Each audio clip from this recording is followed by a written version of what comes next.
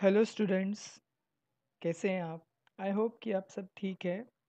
आज के इस वीडियो में हम देखेंगे 2.3 poem the Inchcape rock के आइस ब्रेकर्स तो चलो, शुरू करते हैं पहला क्वेश्चन है prepare a word register related to marine life register यानी कि कलेक्शन वर्ड रजिस्टर का मतलब है कलेक्शन ऑफ़ वर्ड्स आपको कोई टॉपिक दिया जाएगा, उससे रिलेटेड आपको वर्ड्स कलेक्ट करने हैं, लिखने हैं।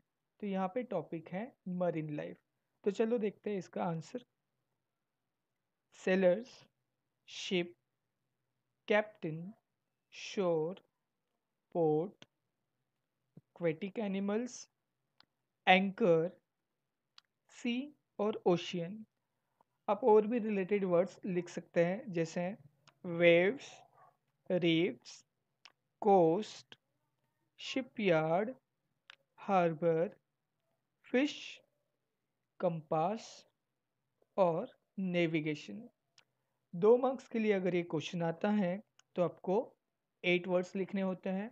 अगर वन मार्क के लिए पूछा जाए तो आपको चार वर्ड्स लिखने होंगे। और ये वोकेबलरी सेक्शन में पूछा जा सकता है। अगला क्वेश्चन देखते हैं। The functions of a lighthouse students lighthouse ये ओल्ड टाइम में यूज़ किया जाता था और ज़्यादातर, जैसे कि आप देख सकते हो, समुद्र के पास इसको लगाया जाता था। और ये डायरेक्शन शो करने का काम करता है शिप्स को। इसके अलावा कहीं पे डेंजरस रॉक्स हैं तो शिप्स को उसके बारे में वॉर्न करने का काम भी लाइट हाउस करता है और फॉग के टाइम पे, यानी कि बहुत ज़्यादा ओस हैं और शिप्स को कुछ रास्ता दिखाई नहीं दे रहा है तो उस समय उन्हें हॉर्न के थ्रू या लाइट के थ्रू गाइड करने का काम लाइट हाउस से किया जाता था।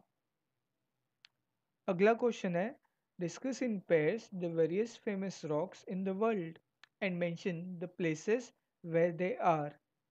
तो एक जो उन्होंने एग्ज़ाम्पल दिया है बैलेंसिंग रॉक जो महाबलीपुरम में है, जो इस तरीके से आपको दिखाई देगा ये एक्चुअली एक स्लोप के ऊपर एक राउंड शेप का बहुत बड़ा रॉक है, जिसको इंडिया में लॉर्ड कृष्णाज बटर बॉल इसके नाम से भी जाना जाता है तमिलनाडु स्टेट में ये आता है। वर्ल्ड के फ़ेमस रॉक्स आप इंटरनेट से और भी फाइंड आउट कर सकते हो। आपको बहुत सारे मिलेंगे। मैंने तीन यहाँ पे आपके लिए सिलेक्ट किए हैं। इसमें से पहला है ओल्ड हैरी रॉक जो यूनाइटेड किंगडम में है, जो स्टम्प्स के जैसे दिखाई देता है, जो वाइट कलर में है।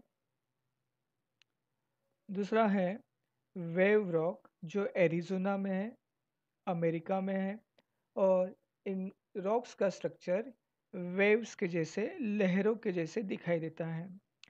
और तीसरा है स्प्लिट एप्पल रॉक जो न्यूजीलैंड में है। एक बहुत बड़ा पत्थर जो दो पार्ट में डिवाइड हुआ है। ऐसा लगता है कि जैसे मानो एप्पल के दो पार्ट किए गए हैं। इंडिया में भी और भी आपको फ़ेमस प्लेसेस मिल जाएँगे, जिसमें से मैंने कुछ यहाँ पे आपके लिए मेंशन किए हैं।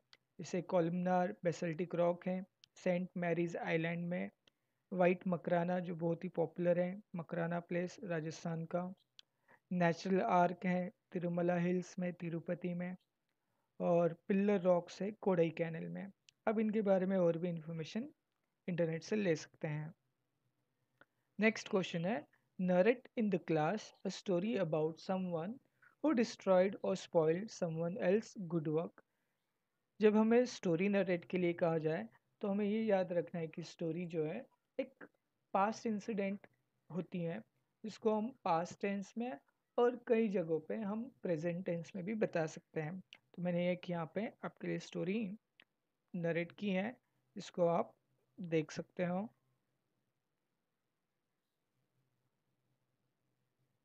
आप इससे रिलेटेड कोई भी स्टोरी लिख सकते हो, जिसमें किसी ने अच्छा काम किया है और किसी और ने उसे डिस्ट्रॉय कर दिया है, या स्पॉइल किया है, ख़राब किया है। लास्ट क्वेश्चन है। Discuss in pairs and groups the following expressions take the help of your teacher तो यहाँ पे कुछ एक्सप्रेशंस दिए हैं।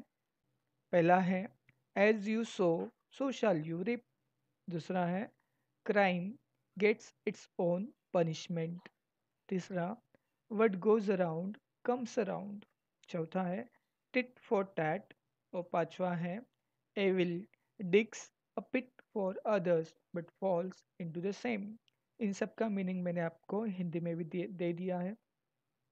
ये सभी जो एक्सप्रेशंस है या प्रोवर्ब्स हैं इन सब का एक जैसा ही मीनिंग है जिससे हमें ये बताया जा रहा है कि जो भी हम कर्मा करते हैं जो भी हम डीड्स करते हैं जो भी हम काम करते हैं उसका फल हमें मिलता है। अगर हमने अच्छा काम किया है तो अच्छा फल मिलेगा, अगर बुरा काम किया है तो बुरा फल मिलेगा। तो इसलिए हमें हमेशा अच्छा काम करना चाहिए, ये हम इससे समझ सकते हैं। तो ये था आइस ब्रेकर्स। इसमें अगर आपको फिर भी कोई डाउट्स हैं तो आप कमेंट करके पूछ सकते हो, और वीडियो अच्छा लगा तो प्लीज़ लाइक, शेयर, सब्सक्राइब ज़रूर करना। Thank you for watching. Stay home, stay safe.